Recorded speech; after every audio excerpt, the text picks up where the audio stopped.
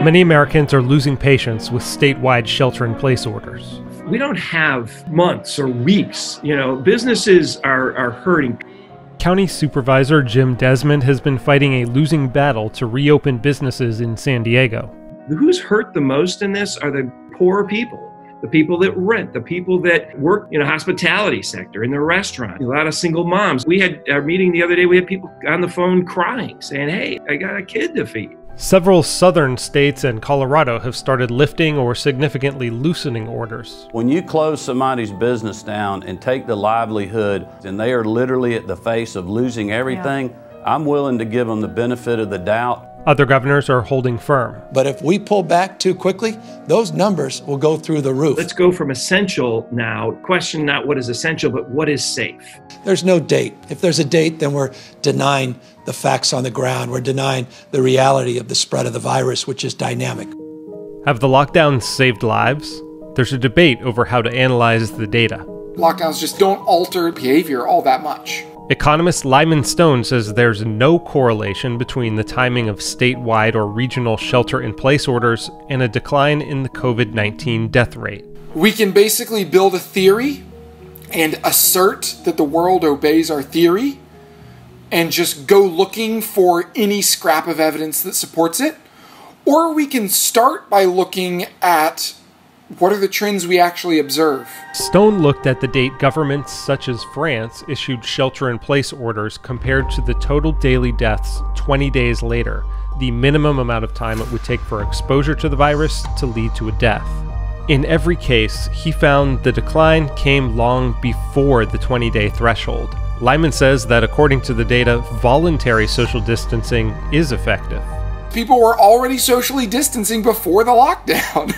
social distancing works. So we have a couple different data sources that basically track your cell phone, which is a little bit creepy. And what we can see is that policy choices like shelter in place orders had almost no impact on when people began to socially distance. California was able to lower their caseload significantly and the number of deaths by quite a bit by putting this regulation in place. Economist Andrew Friedson co authored a working paper for the National Bureau of Economic Research that concluded California's lockdown was effective and may have prevented more than 1,600 COVID deaths. California's location where this could have gotten really bad really quickly. Essentially, what we did is we took a weighted average of other states based on characteristics of those states that make them look like California. We looked at states that had similar growth rates to California and said, okay, of the states that did not put on a shelter in place order within a certain number of days, and then compare that to what happened in California. The funny thing is that they find that their shelter in place order reduced deaths beginning four days after it was implemented, which means that you must assume that a considerable share of COVID cases die four days after infection. The problem is that's not even long enough for the incubation time. In part, they're absolutely right that individual behavior and social distancing behavior started to change before these lockdowns changed. What the shelter in place orders did and what our paper estimates is that there's this additional bump that you get from forcing the part of the population that's not going to comply to comply with the legal weight.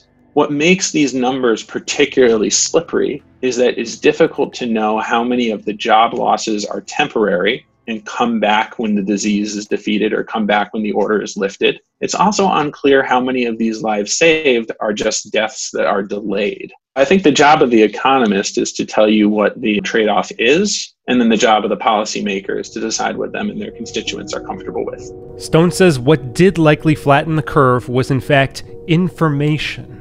Declaring public emergencies correlated with increased voluntary social distancing, and the closure of schools and cancellation of large gatherings also appear to have slowed the spread. He says that instead of shelter in place orders, the rest of the world should learn from the approach taken by Hong Kong, which never issued a shelter in place order and has just four documented COVID deaths.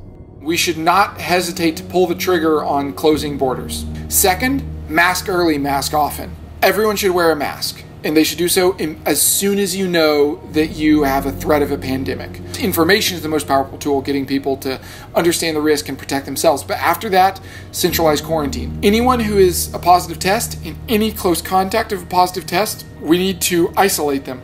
The majority of US states have now significantly modified their shelter in place orders. Even California, which never came close to seeing its hospitals overrun, began allowing more retailers to reopen for curbside pickup on May 8th, but remains committed to a largely top down technocratic approach. Unfortunately, life comes with some risks. I think we're at a point, we're showing we're declining in numbers. To me, it looks like the goalposts keep moving back. You know, we shut these businesses down in a day. Why is it taking us so long to open them back up? I understand we want to be safe, we want to be prudent, but we need to start.